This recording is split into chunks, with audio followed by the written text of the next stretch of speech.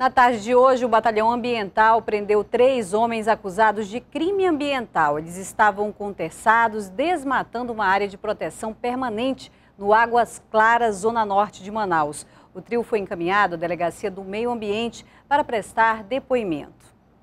24 deputados estaduais eleitos aqui no Amazonas tomaram posse nesse domingo e ontem mesmo eles elegeram a nova mesa diretora da casa, sem muitas surpresas.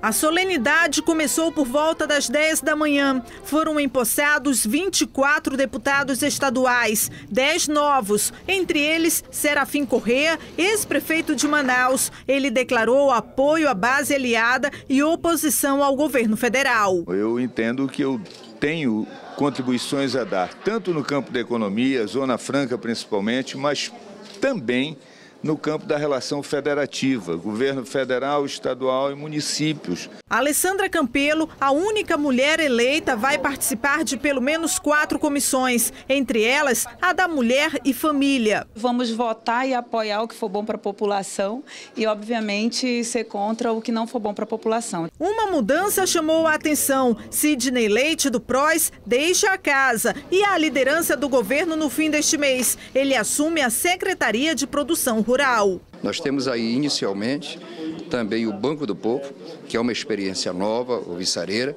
que vai atender não só os pequenos negócios, mas também vai atender o setor primário. Com a saída de Sidney, o vereador Doutor Gomes passa a ocupar a vaga dele na Assembleia. Já Davi Almeida, do PSD, será o líder do governo. No plenário, todos assinaram termo de posse. A sessão foi suspensa e retornou com a escolha do presidente da Ali. A votação foi individual e aberta.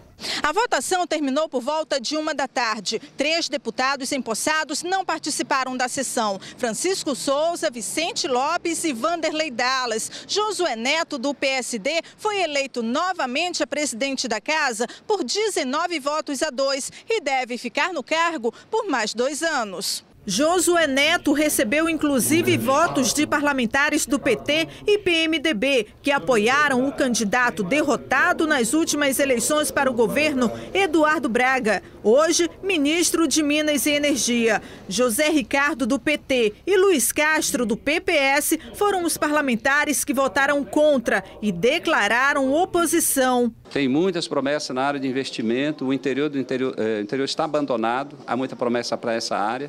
E é essa a nossa postura, né, mais nessa linha de verificar o grau de gastos do governo. Josué Neto disse que pretende cortar gastos, mas também investir em tecnologia e comunicação. Além disso, prevê aumento no orçamento deste ano.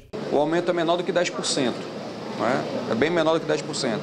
Então não é um orçamento bem maior, é um orçamento que aumentou menos de 10%, só que se a gente for colocar é, o custeio da casa, que aumentará com certeza, principalmente com a questão da energia elétrica. Além dele, fazem parte da mesa diretora Belarmino Lins, do PMDB, Davi Almeida, do PSD, Bigacia, do PSDB, Abdala Frache, do PTN, Sabarres, do PR, Adjuto Afonso, do PP e Ricardo Nicolau, do PSD. O governador José Melo também participou da cerimônia. Ele anunciou que vai enviar à Assembleia Legislativa projetos projetos de reforma até a próxima quarta-feira. Algumas secretarias também deixarão de existir, o que deve gerar cerca de 900 demissões de cargos comissionados.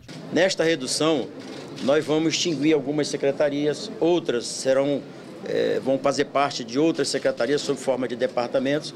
E quando você extingue órgão do Estado, naturalmente extingue os cargos comissionados decorrentes. Na Assembleia Legislativa, os trabalhos começam amanhã, com a leitura da mensagem do governo. Também tomaram posse em Brasília oito deputados federais da bancada do Amazonas e o senador Omar Aziz. Ele declarou que vai dar prioridade para as demandas do Estado, como a segurança nas fronteiras, saúde, mobilidade urbana e a reconstrução da BR-319. Omar foi eleito com quase 934 mil votos. Ele assumiu a liderança do PSD no Senado, que inicia essa legislatura com uma bancada de quatro senadores. Vai trazer soluções para que a gente possa melhorar a qualidade de vida do povo amazonense.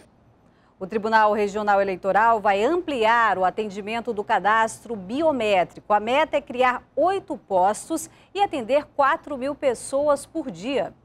O agendamento pode ser feito na página do TRE na internet. Basta clicar na opção de agendamento e depois fazer a solicitação. O eleitor escolhe dia e hora para ser atendido. Foi o que a Sônia fez. Só via comentário que quem não fizesse não ia ter valor o título, né?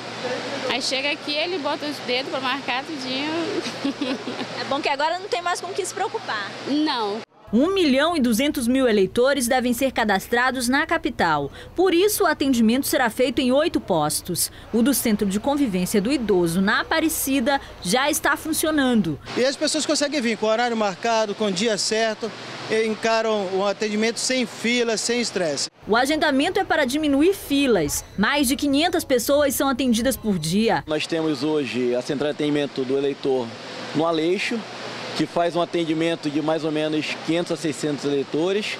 Nós vamos dobrar os dois turnos agora a partir de fevereiro e aí nós vamos espalhar é, CAT pelos, pelo, por, todo, por toda a capital. No dia do atendimento, o eleitor precisa levar documento com foto e comprovante de residência atualizado. Também não pode esquecer de agendar. A gente não aguardou nem 10 minutos.